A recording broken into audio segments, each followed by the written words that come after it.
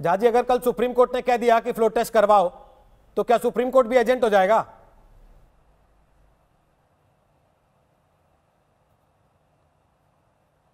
राज्यपाल उसी के हिसाब से काम करता है।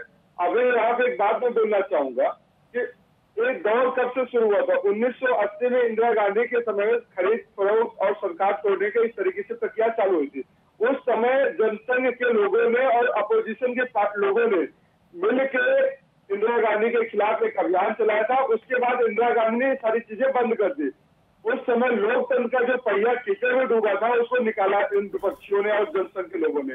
आज भाजपा की सरकार ने लोकतंत्र की पहिया तो छोड़िए आप कैसे कांग्रेस समर्थक हैं जो कह रहे हैं कि इंदिरा गांधी ने लोकतंत्र को कीचड़ में डुबो दिया था?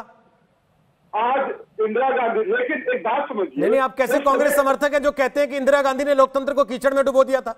सुनिए रोहित जी मैं ये बात करना आप कांग्रेस समर्थक हैं या कांग्रेस को कीचड़ में डुबो रहे हैं खुद बैठ के यहाँ? सुनिए सुनिए उस समय ये गलत ही गलत था और आज भी गलत है। भाजपा जो चाल चरित्र और संस्कार की बात करती थी सरकार के खिलाफ जनसंघ के खिलाफ आपने इंदिरा गांधी के खिलाफ आवाज़ उठाया था। सर मैंने आपसे सवाल क्या पूछा दीपक जी। मैंने पूछा कि अगर कल को सुप्रीम कोर्ट में सुनवाई के दौरान अदालत ये कह देती है कि आज शाम को या कल सुबह फ्लोर टेस्ट करवाओ तब क्या कह के भागिएगा?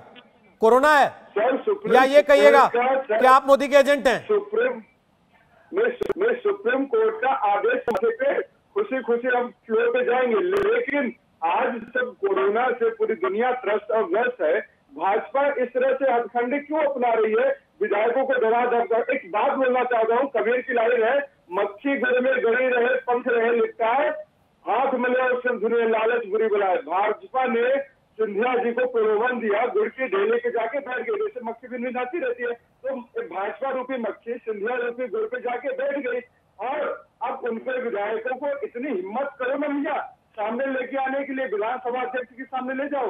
आप डर किस बात कर रहे हो? विधायकों को कब्जे में करके। ठीक है। भाजपा ने लोकतंत्र का हत्या कर दिया है। ओके।